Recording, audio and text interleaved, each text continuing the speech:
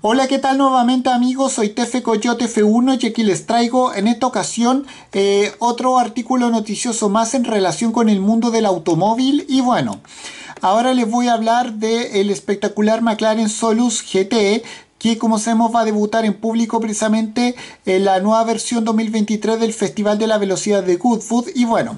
como sabemos, eh, el, el, mítico evento Goodwood Festival Speed es una, es una cita habitual para grandes estrenos del mundo de los coches deportivos, pero ver al vehículo más exótico de la marca McLaren con su eh, propulsor tipo V10 aullando a 10.000 revoluciones por minuto será algo completamente especial y bueno, sin más que decir, vamos a hablar un poco de aquello. Bueno.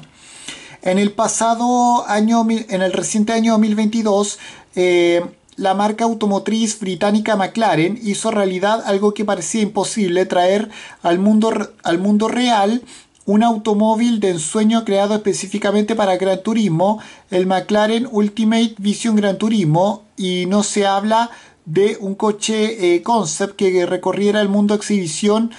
de exhibición en exhibición, dedicando algún show en pista para delite de los, de los que están presentes, sino de una materialización completa a un automóvil de producción, eso sí, de manera bastante limitada y bueno.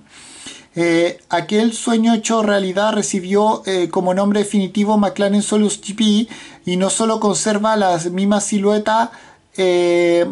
del coche Hypercar de, de, competición venido del futuro que ya se que ya pro, pro, pro, propopía, o sea, ya, ya está en el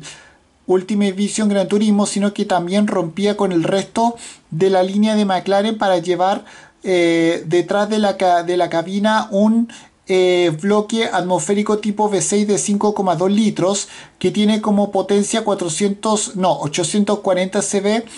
y como par máximo tiene 650 Nm, capaz de, de gritar hasta, hasta llegar a las 10.000 revoluciones por minuto y bueno.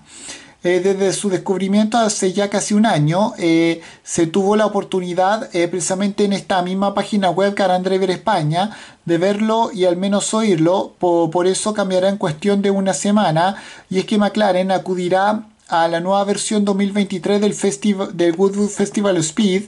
con una comitiva de lujo con sus últimas novedades encabezadas esta, exclusivo, por esta exclusiva máquina de circuitos que cuesta 3,1 millones de euros eh,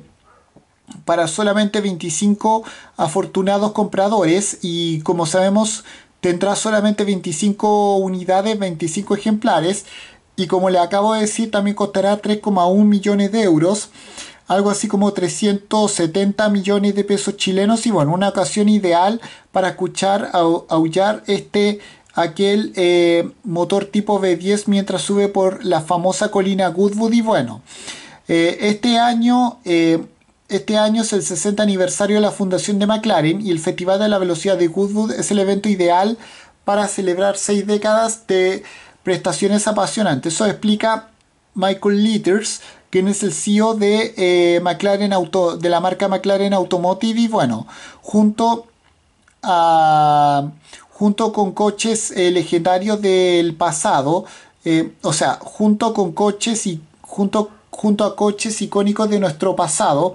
mostraremos nuestra gama, mostraremos nuestra gama actual de modelos que junto con, con dos debut dinámicos globales refuerzan aún más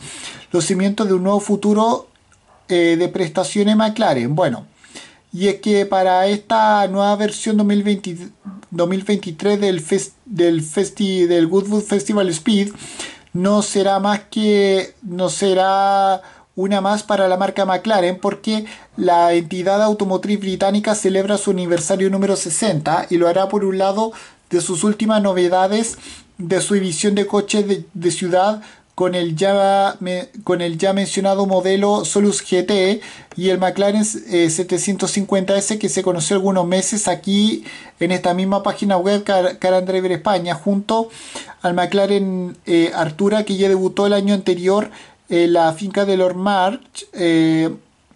así como los modelos los exclusivos modelos Elva Sena y P1 incluso el primer ejemplar de producción del MP4CC que marcó el inicio de la marca McLaren Automotive. Y bueno, por otra parte, siguiendo la gran iniciativa que este año, de, este año las pistas de carrera, la, la legendaria marca automotriz inglesa celebrará su triple corona al automovilismo, llevando también a Goodwood los, eh, los eh, coches clásicos de competición responsables de semejante hazaña única en el mundo para una marca.